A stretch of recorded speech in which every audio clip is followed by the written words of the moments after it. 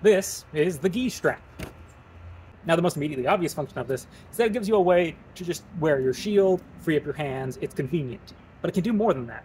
By wearing the Guige while using the shield, you can put tension on that strap to further stabilize your shield and take some of the weight off your arm. And the added stability from the Guige opens up some opportunities to gripping the shield in ways that do not use the forearm strap, which means that if for some reason you need to get to two hands, all you have to do is drop the shield and switch, and you still have your shield.